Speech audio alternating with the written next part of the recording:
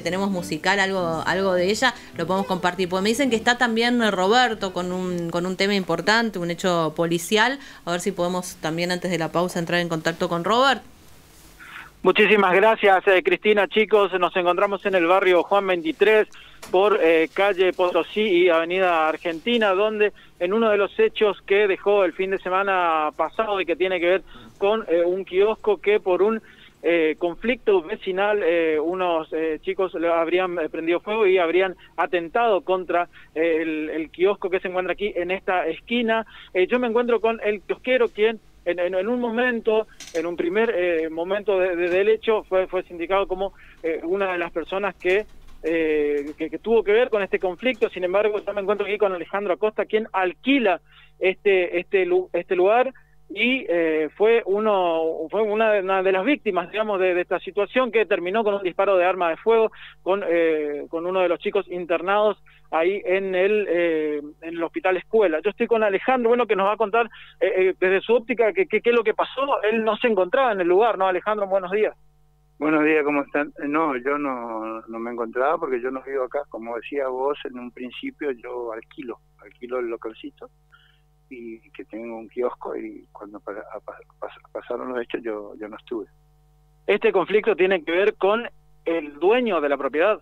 Sí, con el dueño de la propiedad. Aparentemente con ellos eh, tuvieron este problema, este grupo de gente.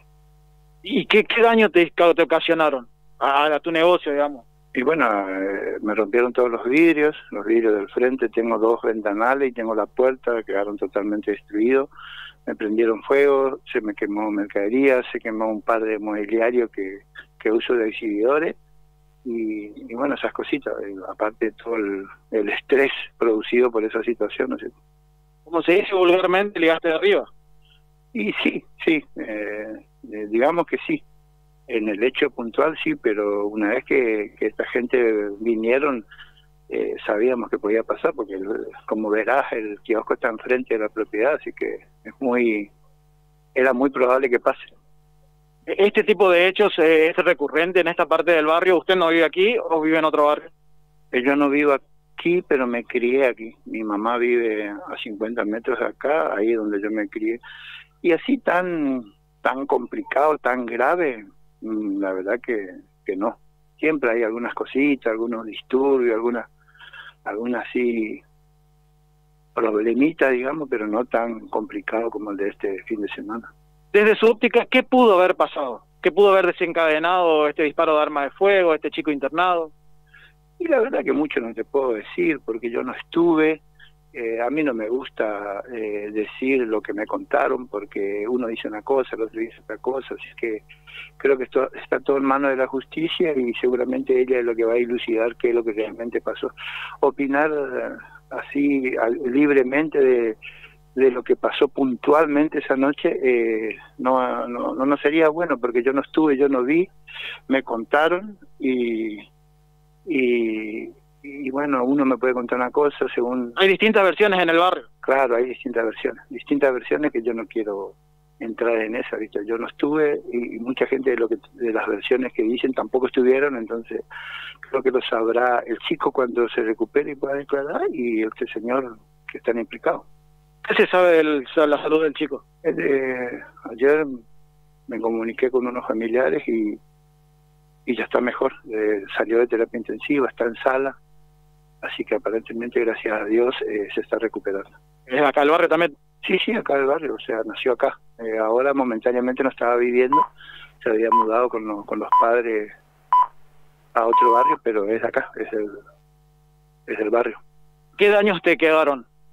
Y los vidrios, los vidrios y, y bueno, los dos mobiliarios, eso que perdí. No, eso, punto las mercaderías ya se va a ir recuperando de a poco. Bueno chicos, sé que estamos sobre la pausa, no sé si tienen alguna consulta. Eh, eh, buenos días, antes que nada, te, pregunto, ¿es peligroso el barrio? Sí, como, hola, buen día, como todo barrio, eh, hay que tomar siempre recaudos porque no deja de ser peligroso, estamos viviendo tiempos muy difíciles con, con una juventud que por ahí anda sin rumbo y es complicado. Ah, ¿Sufriste algún hecho, digamos, de inseguridad? Yo puntualmente. No, no, no, no, nunca. Cuatro años que estoy acá y puntualmente yo nunca. ¿Y cambió mucho la fisionomía del, del barrio desde el momento en que te criaste, viviste allí, a, a- a lo Sí, que es hoy el presente? Sí, totalmente, totalmente. Nosotros en nuestra infancia fuimos felices acá y ahora cuesta un poco, ¿no? Ah. Cambió mucho. Ah, ¿Y, me por, cri- por qué pensás que pasa esto? La verdad que no sé, no es un mal de la sociedad, yo creo, porque eh, yo tengo 55 años, te repito, me crié acá y me crié con junto con mis hermanos con, con ciertos valores, con respeto hacia los demás, con respeto hacia la propiedad ajena, eh, sin resentimiento, disfrutando de lo que teníamos, de lo poco o mucho, sin importarnos por ahí mucho lo que el otro tenía, si tenía más, tenía era porque algo había hecho mejor que nosotros. Eh. Alejandro, pero, pero usted no Sí. observa que hoy la gente joven eh, eh, por ahí está, eh, no sé si es la palabra correcta, influenciada, pero eh, está consumiendo bebida alcohólica, está consumiendo droga y por eso pasan estas cosas. Y sí, es una de las causas, indudablemente es una de las causas. Cuando me preguntaba, cuando nosotros éramos más chicos, eso no había.